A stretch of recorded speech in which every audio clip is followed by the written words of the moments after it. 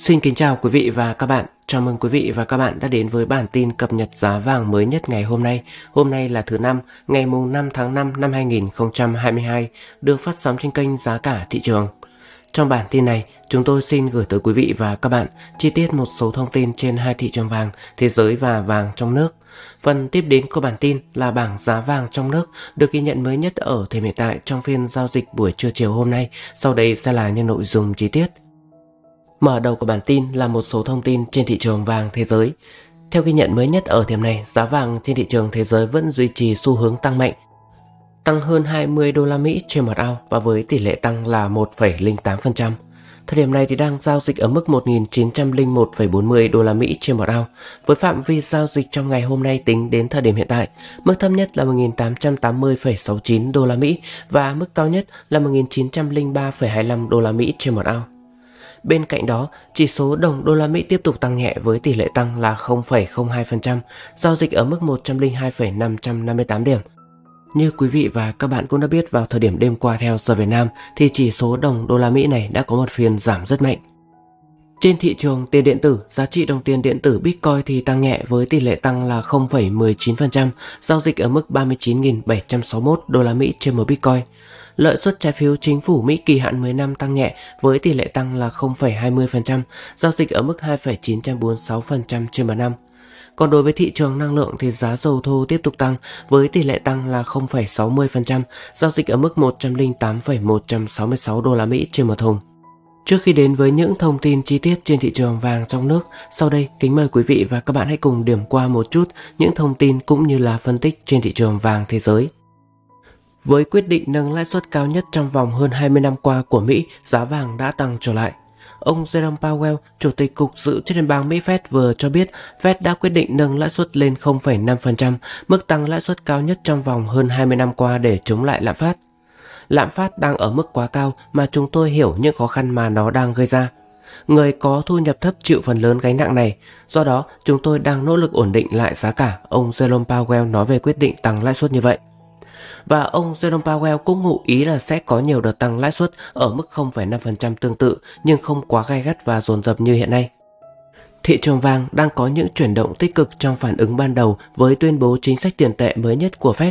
Theo đó, phiên giao dịch ngày hôm nay mùng 5 tháng 5, giá vàng thế giới tăng mạnh và trở lại trên ngưỡng 1.900 đô la Mỹ trên một ao, tương đương với 53,1 triệu đồng trên mỗi lượng sau khi quy đổi. So với phiên hôm qua thì giá vàng thế giới đã tăng tới 1,4 triệu đồng trên mỗi lượng. Theo bà Suki Copper, chuyên gia phân tích ngân hàng Standard Chartered cho biết, sau tuyên bố nâng lãi suất của Fed, đồng đô la Mỹ và lợi suất trái phiếu quay đầu giảm đã hỗ trợ cho vàng tăng giá. Thị trường đã từng kỳ vọng Fed sẽ thể hiện các hành động cứng rắn trong việc thắt chặt tiền tệ. Nhưng lúc này điều đó chưa diễn ra, do đó mà giá vàng cũng sẽ hưởng lợi từ đây. Phần tiếp đến của bản tin sẽ là một số thông tin trên thị trường vàng trong nước để quý vị và các bạn có thể biết rõ hơn về thị trường vàng trong nước thời điểm này. Sau đây, chúng tôi xin gửi tới quý vị và các bạn bảng giá vàng chi tiết được ghi nhận mới nhất ở thời hiện tại trong phiên giao dịch trưa chiều hôm nay để quý vị và các bạn có thể tiện theo dõi và tham khảo thêm. Nhìn chung thì ở điểm này, giá vàng SJC trong nước cũng như là vàng nhận bộ số 9 và một số loại vàng nữ trang SJC khác thì tiếp tục giữ xu hướng tăng khá mạnh quý vị và các bạn nhé. Thời điểm này thì đang được niêm yết như sau. Đầu tiên là giá vàng SJC tại ba thành phố lớn, SJC Hồ Chí Minh từ 1 cho đến 10 lượng, mua vào 6 triệu 980 nghìn, bán ra 7 triệu 050 nghìn, tăng mạnh 400 nghìn đồng trên một lượng ở chiều mua vào và bán ra, hay là tăng 40 nghìn đồng trên một chỉ ở chiều mua vào và chiều bán. SJC Hà Nội mua vào 6 triệu 980 nghìn, bán ra 7 triệu 052 nghìn, tăng 40 nghìn ở chiều mua vào và bán ra. STC Đà Nẵng mua vào 6 triệu 980 nghìn, bán ra 7 triệu 052 nghìn, tăng 40 nghìn ở chiều mua vào và chiều bán ra.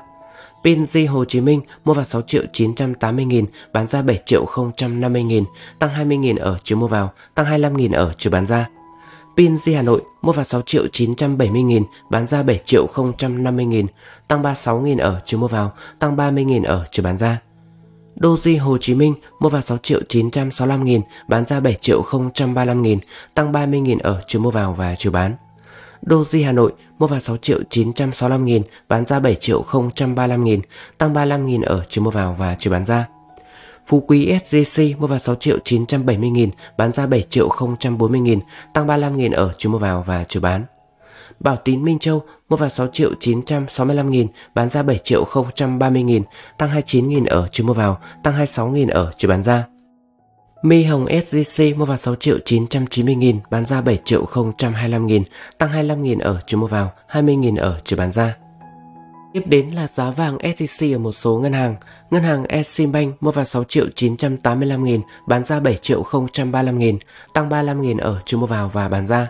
Ngân hàng SCB mua vào 6 triệu 950 nghìn, bán ra 7 triệu 030 nghìn, tăng 30 nghìn ở chiều mua vào, tăng 40 nghìn ở chiều bán ra. Ngân hàng TB Bank Gold mua vào 6 triệu 970 nghìn, bán ra 7 triệu 040 nghìn, tăng 40 nghìn ở chiều mua vào và chiều bán. Ngân hàng Việt Tiên Banh mua vào 6 triệu 970 nghìn, bán ra 7 triệu 042 nghìn, tăng 30 nghìn ở chiều mua vào và chiều bán ra. Tiếp đến là giá vàng SJC ở một số tỉnh, thành phố khác. Thời điểm hiện tại thì giá vàng SJC một số tỉnh, thành phố khác duy trì xu hướng tăng và tiếp tục tăng khá mạnh, tăng 400.000 đồng trên một lượng ở chiều mua vào và bán ra, hay là tăng 40.000 đồng trên một chỉ ở chiều mua vào và chiều bán. Tranh lệch giữa chiều mua vào và chiều bán ra vẫn dao động trong khoảng 720.000 đồng trên mỗi lượng, hiện tại thì đang được niêm yết như sau. STC Nha Trang mua vào 6 triệu 980 nghìn, bán ra 7 triệu 052 nghìn. STC Cà Mau mua vào 6 triệu 980 nghìn, bán ra 7 triệu 052 nghìn. STC Huế mua vào 6 triệu 977 nghìn, bán ra 7 triệu 053 nghìn. STC Bình Phước mua vào 6 triệu 978 nghìn, bán ra 7 triệu 052 nghìn. STC Biên Hòa mua vào 6 triệu 980 nghìn, bán ra 7 triệu 050 nghìn. STC miền Tây mua vào 6 triệu 980 nghìn, bán ra 7 triệu 050 nghìn. STC Quảng Ngãi mua vào 6 triệu 980 nghìn, bán ra 7 triệu 050 nghìn. STC Long Xuyên mua vào 6 triệu 982 nghìn, bán ra 7 triệu 055 nghìn. STC Bạc Liêu mua vào 6 triệu 980 nghìn, bán ra 7 triệu 052 nghìn. STC Quy Nhơn mua vào 6 triệu 978 nghìn, bán ra 7 triệu 052 nghìn. STC Phan Rang mua vào 6 triệu 978 nghìn, bán ra 7 triệu 052 nghìn. STC Hạ Long mua vào 6 triệu 978 nghìn, bán ra 7 triệu 052 nghìn. STC Quảng Nam mua vào 6 triệu 978 nghìn, bán ra 7 triệu 052 nghìn. Cuối cùng là giá nhận bộ số 9 và một số loại vàng nữ trang STC khác. Hiện tại giữ xu hướng tăng mạnh trong khoảng 167.000 cho đến 400.000 đồng trên mỗi lượng hay là trong khoảng 16.700 cho đến 40.000 đồng trên một chỉ và hiện tại thì đang được niêm yết như sau. Nhận bút số 9 từ 1 cho đến 5 chỉ mua vào 5 triệu 510 nghìn, bán ra 5 triệu 600 nghìn.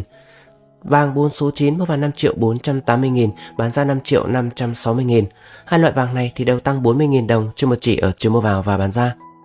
Vàng 24K mua vào 5 triệu 375 nghìn, bán ra 5 triệu 505 nghìn tăng 39.700 ở chiều mua vào và bán ra.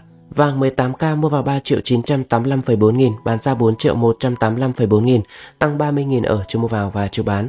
Vàng 14K mua vào 3 triệu 056,8 nghìn, bán ra 3 triệu 256,8 nghìn, tăng 23.300 ở chiều mua vào và chiều bán ra.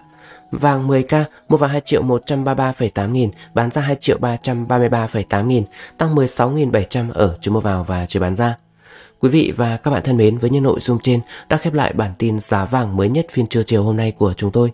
Mọi diễn biến tiếp theo trên hai thị trường vàng thế giới và vàng trong nước sẽ được chúng tôi liên tục cập nhật ở những bản tin tới. Quý vị và các bạn cũng đừng quên bấm nút đăng ký kênh màu đỏ phía dưới góc phải màn hình của video này, cũng như tích luôn vào quả chuông ngay bên cạnh để mỗi khi có thông tin mới chúng tôi tiện thông báo tới quý vị và các bạn hơn. Còn bây giờ thì xin chào và hẹn gặp lại quý vị và các bạn ở những bản tin tiếp theo.